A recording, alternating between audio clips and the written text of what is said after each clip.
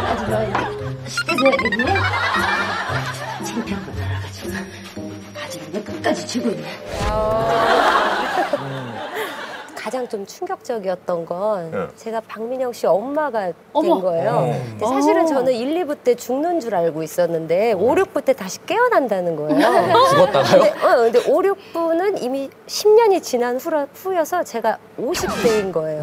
근데 이제 아, 그 당시에 제가 결혼하기 이제 직전이어가지고 어. 어, 사실, 속상했겠다. 어, 어머님이나 이쪽 분들한테 조금 눈치가 보이는 거예요. 하나 그리고 가뜩이나 지금 연상이어서 음, 약간 어, 몇 눈치가 살 연상이 돼요? 좀 많이 나요. 일곱 살. 네. 일곱 살. 네. 대학교 1학년 때 지금 남편 6학년이었어요. 그럼 많이 미안하지. 엄청 미안한 거야, 그럼. 연하 남편의 제일 큰 매력이 뭐예요, 그러면? 글쎄요, 저는 연하 남편이긴 한데 우리 신랑이 연하라고 생각해 본 적이 없는 것 같아. 어. 네, 그러니까 연하라고 계속 생각하면 내가 남편으로서 너무 존중이나 신뢰도가 안 쌓일 것 아. 같아. 그러니까 그냥 이 사람은 나에게 있어서 남자지. 그냥 나보다 어리기 때문에 뭐가 더 챙겨줘야 되고 더 뭐 걱정되고 이런 건 없는 것 같아요. 아니 근데 장영남 씨는 촬영 때문에 이렇게 좀 뭐 지방에도 가고 네. 또 집을 이렇게 또 며칠 비워놓을 때도 있고 그렇잖아요. 네. 그러면 남편은 좋아해요. 좋아해요. 벌써요? 서로 조금 떨어져 있는 시간을 더 소중하게 여기는 것 같긴 해요. 네. 음. 그러니까 좀 질릴 땐 집을 비워라.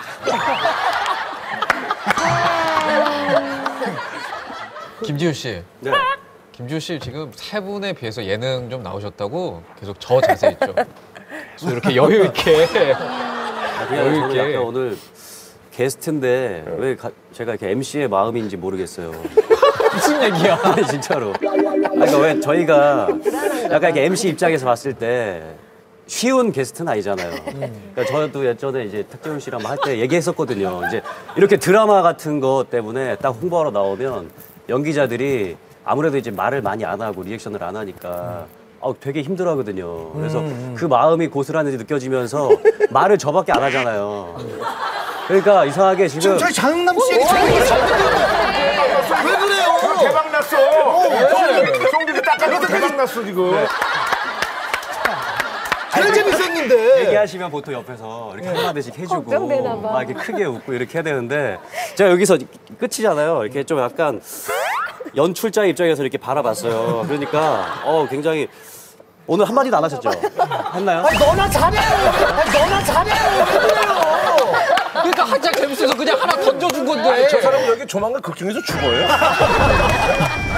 아니, 여기 욕심내.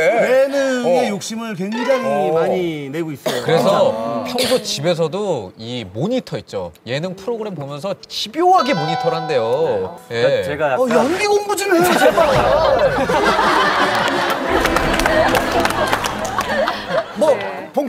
우리 화신 MC로서 지금 이렇게 맹활약을 하고 있는데 봉태규 씨한테 네. 조언해 줄건 없어요? 어, 네. 일단 봉태규 씨 같은 경우에는 좀 조- 좋은 옷 입으면 안 돼요? 좋은 옷 입으면 안 돼요? 아니 진짜 그냥 시청자 입장에서 어. 비싸 보이는 옷을 입었으면 좋겠어요. 너무 말르셔서 안색을 생각하시잖아요. 안 치는데. 안 치네. 안 치는데 이렇게 훅 들어와? 훅 들어와. 오. 객관적인 어, 근데 기사 맨날 나는데? 뭐라고요? 연관 검색하면 봉태규 패셔니스타라고 뜨는데요?